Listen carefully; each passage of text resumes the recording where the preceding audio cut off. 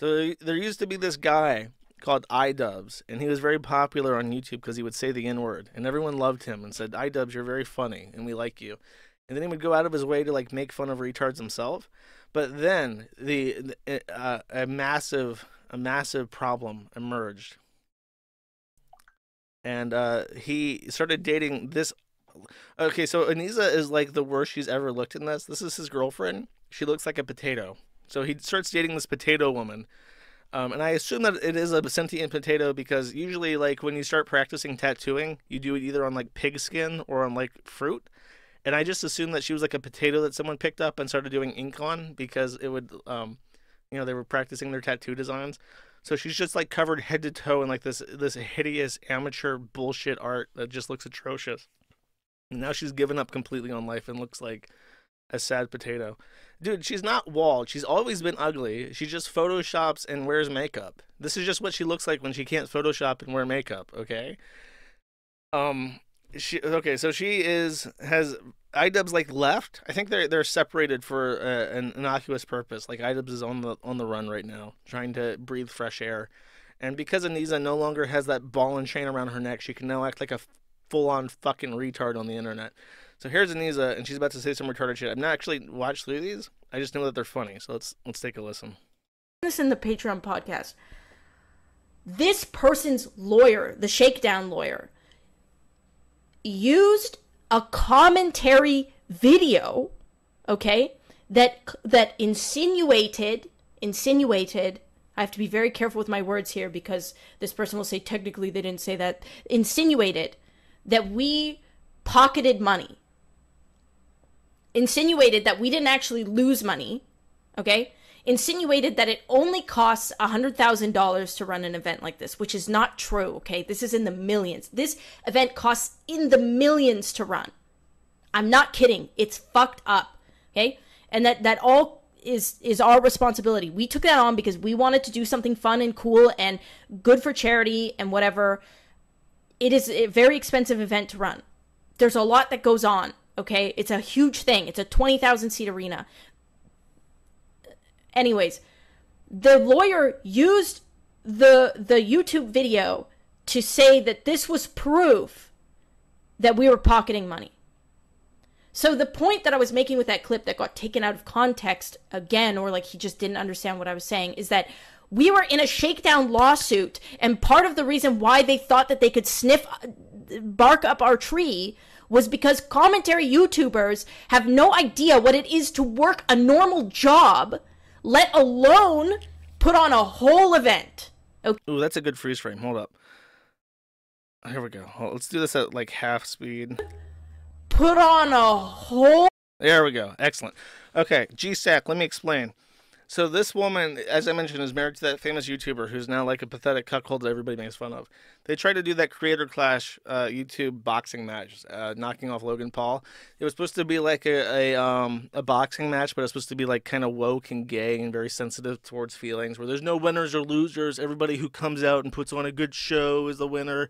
That kind of shit. Um, and this event cost a lot of money and was a failure. I think they lost money. I think that she said that they lost something to like the tune of like a quarter million dollars. It was like an absurd amount of money. Don't quote me on that.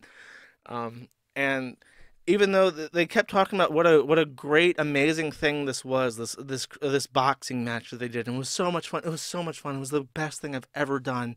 It was so worth it. We put in so much effort and the rewards of being in the community were so overwhelming and so beautiful and now she's like just explaining like their colossal fuck ups they lost money there's a lawyer that's like trying to get them kicked out of the event as like organizers because the the organizer is like the or the lawyer's like i'm looking at the numbers and there's no fucking reason that this should have lost lost money. Like you're either completely incompetent or you're stealing money from the foundation. Like this is just absurd. And she's jumping out at this because there might be re- repercussions for being such a fuck up whole event okay you have no clue. You don't even know what it's like to clock in and have someone breathe down your neck. Dude, it, it's so much money. And like, when you think about what a boxing match is, it's two people punching each other. You know, how hard is it to set up an arena, get two people punching each other, and stream it on YouTube? It's it should I could do that for like five thousand dollars. I think I could get that together. I could get an a live. I bet you. I bet you fucking money. I could get the equipment, the permit, the ring, the auditorium, and a thousand people in seats for like five thousand dollars, and just let two retards punch each other. It's I, there's no excuse. There's no excuse whatsoever. So don't tell me how much it costs. $100,000 does not even cost one quarter of the broadcasting fees.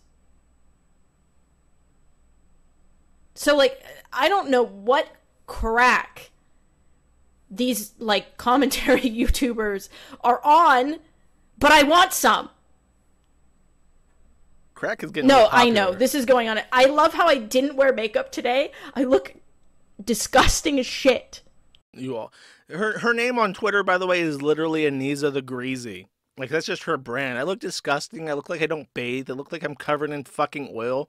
It looks like I got slimed Nickelodeon style by like a bottle of olive oil.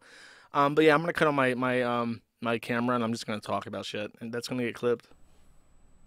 but this will go on every con and i don't care i'm at the i don't care i don't care anymore because even when we don't say something even when we don't say something they they think we're saying something Go all out. do you know what i mean Declare war. oh thanks guys thank you Declare fatwa on Keemstar. Inshallah, he will be beheaded. Get assumptions Ah, it's loud. I don't want to hear any of that loud. What the fuck is that garbage on the wall? What kind of? She has like a, an enormous rodent cage. I'm assuming that's a rabbit. And then she just has like random pictures of like old women with like tattoos on them. I guess that's her. I I want I want to be old and tattooed, and that's like her her shtick. like just out so out of pocket i don't know i know a lot of them have never worked a real job i know that for a fact and if you have Fun fact: I had that exact same microphone and arm stand when I uh when I lived in Ukraine. you worked there for a week and you cried and you quit Apparently, it's a Rottweiler cage. A rot a Rottweiler cage chat. Look at me, I'm gangster. I'm gangster. I got that big dog, the red and black. Woof woof woof. You send your shitty little dog at me, I'm on that. My dog gonna eat your dog because we we hard hitting gangsters and shit. That's the other thing that that a lot of these people assume is that I never worked a real job. But I didn't get on the internet until I was 21. I had to pay for my own fu- I was in college working like uh, a fucking serving job. Okay? I was doing both. I had 4 to 5 Okay, Anisa, you're using 100% of your brain power. I can see it. I've worked at Whataburger for over a year when I was in college as well. I did get my degree. I became an internet insane person instead. Does that mean that I get to make fun of you? I'm a commentator technically. I have worked a service job. I have worked a real job, and I have a degree. So by your 1 million IQ brainiac uh, logic, I get to make fun of you all I fucking want, and I get to call you a fuck up. That seems to be the what you're implying here. classes a semester and then I would go work a serving job. Okay? And before that, I worked at a pet store and a Dairy Queen. Because I because I function in society. And then I got lucky. yeah, I have like like weekly visits with my therapist. I'm on SSRIs. I have occasional mental breakdowns where I start OnlyFans and ritualistically humiliate my cuckold husband. But I, I heckin' function. I can live stream. I can set up a Bachman meth. I'm functional. By whose fucking metric? You're a net deficit. You run into the you run into the negatives. You ruined your husband's life. Your your your business enterprises are in the red. You are not functional. By by literally what metric are you functioning? Congratulations. You managed to figure out a way to get food into your fucking mouth. You don't live on the streets, I guess. I'm pretty sure HSA, FSA take care of that shit now. You don't have to worry about that. There's no laws conditions. right? I got lucky and I started making money on the internet, so I quit. But I've been working I had been working since I was like 12 no, I'm not even kidding, 12 years old. Because in Canada at the time, I don't know if now, but at the time, if your parents sign your you can sign something, you can work. I worked at a movie theater when I was a kid. But I, you fuckers, She would she would cut picture uh, cut single frames of pornography into children's films. She was she was so good at her work. Not even a, a hummingbird could catch her. that are looking at this right now, I know, I know that you would fucking cry if I said something to you in real life. I know you would cry. How do I know? Because I've done it to one of you fuckers in real life, and you have cried. You cried and apologized to me, and you even said that I made you feel like a bitch. She's talking about And Rusty I'm Cage, by glad the that way. I did, to be honest. More people should do that to you. Rusty Cage went into um her boxing match or whatever, and she randomly like found him, like she recognized him and just walked over and like surprised him. And she said, "Hey, what you said wasn't cool." And he's like, uh, "I'm sorry." And then he went on Twitter and said, "You know, I, I kind of, in retrospect, I feel like a bitch. I shouldn't have apologized to her." And now that's like her trophy. That's like her. her that's she clings to this. It's like I made Rusty Cage apologize by confronting him. You know, at, complete fucking random. Therefore, I'm a, a boss bitch. I'm a winner. did and you know we Ooh, did wow. karaoke and whatever there's alcohol there um and close friends are allowed at this party it's in a um it's in a hotel okay and this fucker snuck in Well, he was not supposed to, to get in the reason why he got in was because he happened to say uh, by accident the name of one of our like higher ups and was like oh um John He knew the names of the organizers are like public. They're all on Twitter. So he just says um he picked one of the names out and said, "Yeah, Justin says I can come in." Justin said I could get in right and so they they they gave him a wristband so he got in and I saw on Twitter the day before that he was tweeting shit, right? He was like putting he was he was he was doing that thing where you don't like fully commit to being a fuck, but like enough of a fuck that like he basically wore like a free froggy fresh shirt or like held the sign or something. I think it was a, he had a Krispy Kreme shirt on or some shit and he was like there was like a free froggy fresh sign that like made it to the front of the like walkout of Ian's walkout and he like tweeted the uh picture. No, it wasn't Brandon Buckingham. It was fucking um I always call him Rusty Spoon, but I think his name's Rusty Cage. Um Oil, oil like rusty spoons. Rusty spoons feel good on my sausage fingers. shirt If you're a real OG, you'll know what that means. or like held the sign or something. I think it was a, he had a Krispy Kreme shirt on, made it to the front of the like walkout of Ian's walkout, and he like tweeted the uh picture. No, it wasn't Brandon Buckingham. It was fucking um I always call him Rusty Spoon, but I think his name's Rusty Cage. Um he was snuck into the party, okay? So Ian wasn't around, much like right now, which is why I'm doing this right now. Uh Ian wasn't around. He was somewhere else. And I saw that fucker. I saw him waiting in line for free alcohol, and I was like absolutely not. Absolutely not. So I fucking walked over there This alpha bevol saw Rusty Spoons there and said, "This motherfucker is about to cyberbully my boyfriend slash gimp. Not on my watch. I'm gonna I'm gonna take out the trash." and bro's like little, okay? He's already like a small guy. And I had platforms on, so I was real big that day.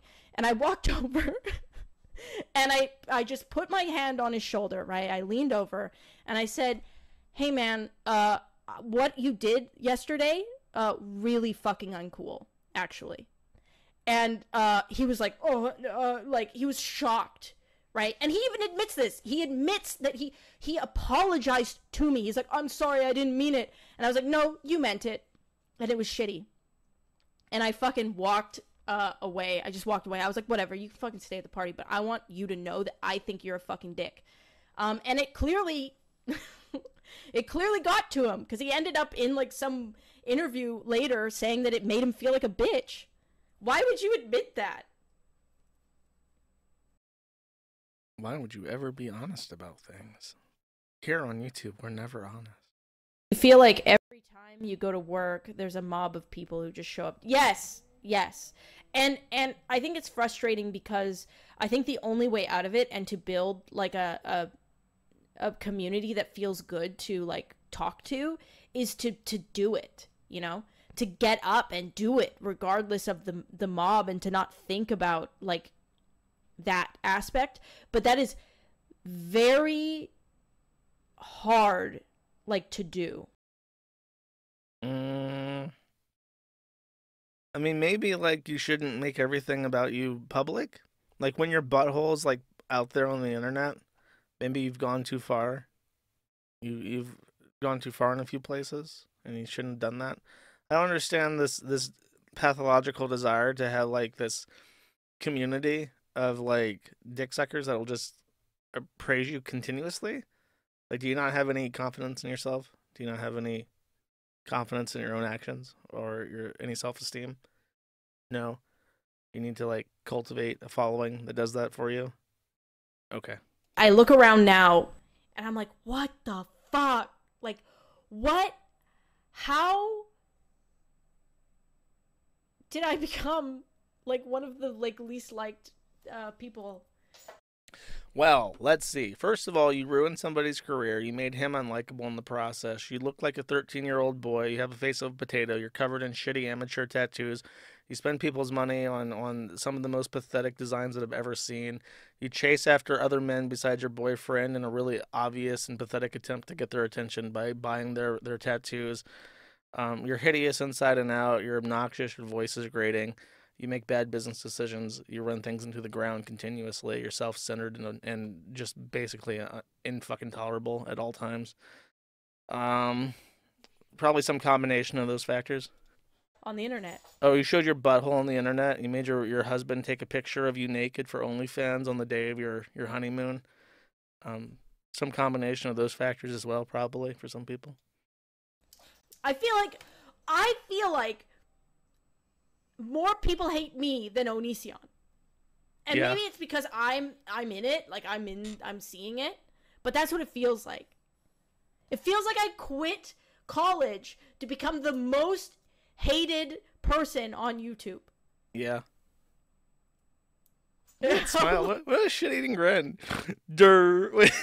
Where's that grin at? Person on YouTube. Look at that grin. What the fuck? Oh, hold on. I'm taking a picture of that. It's like, um, hold up. Let me find this real quick. She, she look, the way she's smiling reminds me of this.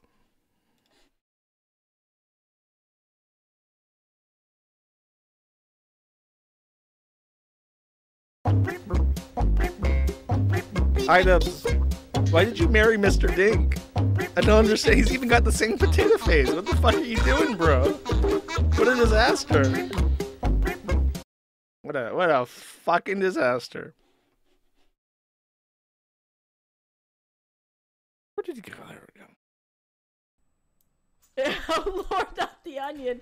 You know what's uh, funny? I said to my, I made a joke about Onision to my therapist that I, I, I didn't think she would get. Bro. That is a that is a that is a there are some words like language has power. There's a reason why in like demonic lore there's always like words or phrases of like power and conjuring. I spoke to my therapist about Onision. There's like and then like a door opens and like an ancient Egyptian curse like flies out and possesses something. That's like a that's like a curse phrase that should not have been uttered aloud. I forget that she like watches. She knows like some YouTube lore, and she burst out laughing, and I was like, "Whoa!" I was like, "Onision mentioned." Okay, obviously, I don't have a, a particularly strong relationship with therapists and mental health types and, and my depression and shit. I'm gonna say this: if you live in like LA and your therapist, if you say these cursed words, um, are you know, I, talking to your therapist about Onision, and she claps back, "Whoa, Onision mentioned." You are in the wrong place. You're fucking up. You have miscalculated. You have subscribed to something that you do not want. Mayday, Mayday, SOS, SOS. Like that, that that's a fucking problem. That should be a red flag. And I thought I was Sorry. Sorry. Uh, uh, Anisa snuck up on me and, and scared the fuck out of me by screaming at me. going to pass out because it's on the spine too. Like, I don't. Yeah, I don't know. It's on like. on. Like, Bro, it looks so fucking bad. what the, bro? And then It reminds me. She um. By the way, that tattoo. Let me just rewind it because this tattoo on her back. There is a guy that she's obsessed with. Obsessed with. He's a tattoo artist in LA. He's like a gross hipster. He looks kind of like iDubbbz. She's in love with this guy. She wants to fuck him. She probably has fucked him. Um, but he's like an artist that she's obsessed with. And oh, by the way, you can see very clearly uh, her spiderweb tattoo that's associated with MS13. Um, I figured I would mention that. That's one of her many mistakes. She literally picked that one off the wall during like a manic phase, and had like a gang sign tattoo uh, tattooed onto her. The back tattoo as a whole, though, it may look like a bunch of random shit. Like I can kind of see like the orc um, World of Warcraft horde symbol here. There's like a snake design. There's like a like a de, de dia muerta type skull right there. It may look like a bunch of random shit like clobbered together. Um, this is actually a design piece. The entire thing is one piece, and it was supposed to be like the um the magnum opus of this this particular tattoo artist. He sat down and he sketched this and he put it on his site and says, "This is my design. This piece speaks to me. It's a full back tattoo. This is my um the pinnacle of my artwork, and I want to sell this one time to one very special person for the low low price of ten thousand dollars as living art." And Anisa is the person who bought that. It was literally like ten thousand dollars. This back tattoo is like the I, I don't even know what you would want to call it, what the word is, but it's like this artist like apex, what he's very proud of. And he tattooed it on her and she showed it off. And I think it was supposed to get colored at some point. It's still not colored. I guess they ran out of money. maybe he maybe she tried to suck off that guy and he's like, um, I'm married. Get the fuck away from me. Clout clout potato. Like what the fuck are you doing? Um, but yeah, it's still not colored in. It's just terrible. And when I first saw this, like when she revealed this to the world, my first instinct was to like go onto Bing AI images, and I might even have these images somewhere on my.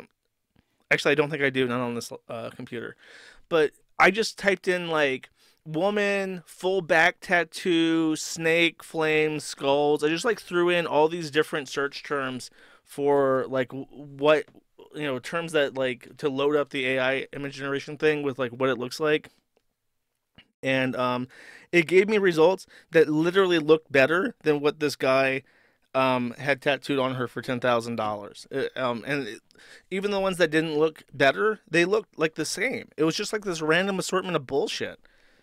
Um, and she's so proud of it. And it's like you look like shit, lady. You look like fucking garbage. You look like you belong in a fucking dump. You look like you're if you if someone like poached you like a buffalo and skinned you and hanged up your skin like a rug on a wall, you would look like an assortment of test designs that a bunch of students had carved into a pigskin during a during a day of practice at art school. It would not look like a cohesive design. It wouldn't look like a um like a like a piece of art. It would look like a practice sheet that someone had carved into pigskin and threw away. Like I don't I have no fucking idea what has to be wrong with someone's brain to do this kind of shit.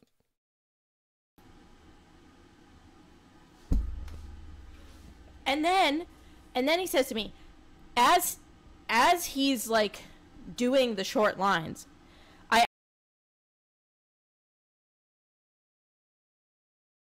Sorry, I thought I could enjoy some water while she was talking, but she has for some reason decided to stop talking. Uh, Anisa the Greasy says, I'm just bored, so I'm streaming on Twitch and chatting come talk to me for a bit while I wait for Ian to come home from Los Angeles. The short stream was so fun. I already feel like I'm getting, I'm shaking off the rust. Uh, this is what she had to say about Ian while she was streaming. This one was really bad. We were driving from Edmonton or uh, Seattle to Edmonton. We had stopped for Tim Hortons, and he had gotten donuts and a double double. In Canada, we don't use oil based creamers. We use cream creamers. So the combination of the the gluten from the donuts plus the uh, lactose caused him to have an emergency. Like he had to like stop the car and like he thought he was gonna have to go in the woods because it was so bad but we ended up finding a bathroom. And uh, ian has irritable bowel syndrome and from what i understand his diet is like the most restrictive diet i've ever heard of. He he he can't eat certain things in combination but he has to be careful with like gluten dairy, meat, like all sorts of shit. Alcohol, I don't think he can drink alcohol um, in combination with certain things. Like his diet is one of the most restrictive ones that I've ever heard of um, for him not to like shit himself. Anisa finds this hilarious, by the way, and has repeatedly made fun of the fact that he has literally shit his pants and has just like openly said this on podcasts. Like, yeah, my my husband shits himself on the reg. Like he eats shit that he's not supposed to, and he just like dumps into his pants, and he he's like a pathetic child in that sense. It's really like disgusting and uncomfortable.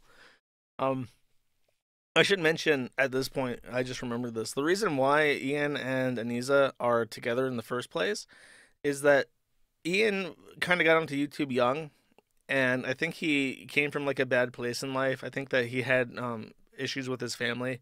I want to say his father was a convict and had gone to prison, so he lived without a, a, a, positive role model for a long time. He gets out big on YouTube and he starts getting hit up by by clout potatoes and clout goblins like Anisa. And then Anisa is like his first girlfriend. So iDubbbz has no idea what a healthy, normal relationship looks like. When you're a teenager and you're like confused and you're like tiptoeing into relationships, um, I think it's pretty common for people to have bad relationships early on, but then after like a couple a couple like dates or girlfriends or boyfriends or whatever, you kind of realize like this is what a normal person does. This is how a relationship is supposed to feel. Um, and it's supposed to be easy and not incredibly painful. like that's a lesson that I think people have to learn. Like a relationship is is it's supposed to be easy to like somebody. You're not supposed to be in pain constantly while in a relationship. And Ian never learned that. So he's in this relationship with this horrific uh, troglodyte um, that has. Uh, I mean, it's hard to say if she directly ruined his life or if she was just like in his life as he ruined his own life. Um, but I think that he just doesn't. He honestly, even as like a thirty year old man, he just doesn't have the life experience to know that this is not normal. Your spouse isn't supposed to go on to social media and talk about how you're an incontinent little baby that shits himself um, all the time. So, and you know, you're not supposed to. Your spouse isn't supposed to show her asshole on on OnlyFans and fail fail at showing her asshole and making money on OnlyFans. Uh, she, he he literally just doesn't know because she was his first, and she, he doesn't have a fucking clue. Thank you for watching this clip. This is the CACA Remember to like and subscribe.